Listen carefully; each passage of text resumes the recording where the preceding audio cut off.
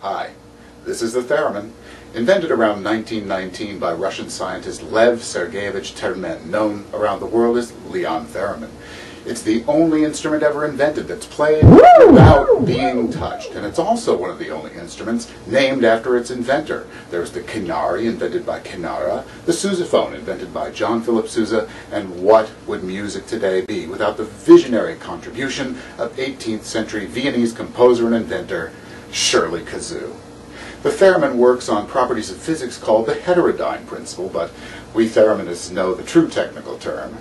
Magical. It's magical, and theremin toured the world playing beautiful classical music.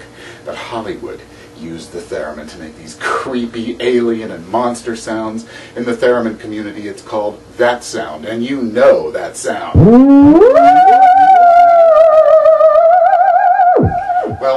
I'm devoted to playing classical music on the theremin, so my offering to you is immortal composition by Brazilian composer Heitor Villa-Lobos, his aria from Bachianas Brasileiras number 5. Available on my new CD, Euphonic Verses. The first hundred to order receive a free set of precision steak knives. And now, Bachianas Brasileiras number 5.